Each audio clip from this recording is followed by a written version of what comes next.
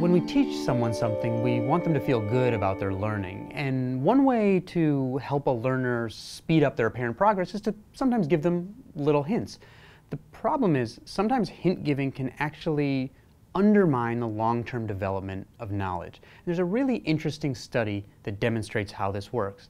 It was done on two individuals named Oberon and MacDuff, who happened to be rhesus macaques, monkeys, who were trained to memorize lists in order, lists of images that they had to pick in order off of a screen. The images could be tulips, a school of fish, Halle Berry, etc.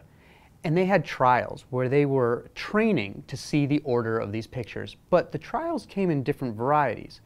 In certain cases, Oberon and MacDuff automatically got hints on the order of the, of the images so that they knew what to pick next. In other cases, hints were always available, but they didn't have to take them, but they could when they wanted to. And in another case, hints were available about half the time, and in a final instance, for a final set of lists, there were no hints whatsoever.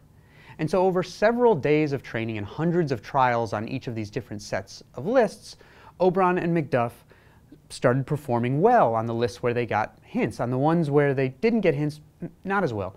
Then they took a break and came back for test day. No more hints on test day whatsoever, and it was a performance disaster. Oberon and MacDuff got almost nothing right from the lists where they were given hints. The more hints they were given in training, the worse they did on test day. And for the lists where they got no hints, all of a sudden Oberon got about three quarters of them right, and MacDuff, who was generally not as good, got about half of them right.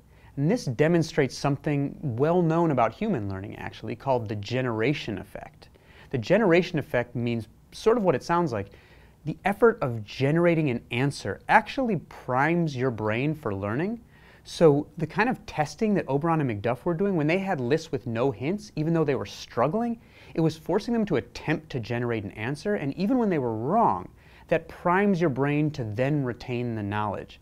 Where in the cases where they were given hints, they didn't have that same kind of priming, that same kind of work to generate a correct answer. So the lesson that comes from this area of cognitive psychology is that really you should be testing yourself before you're ready, because that's how you prime your brain for better learning.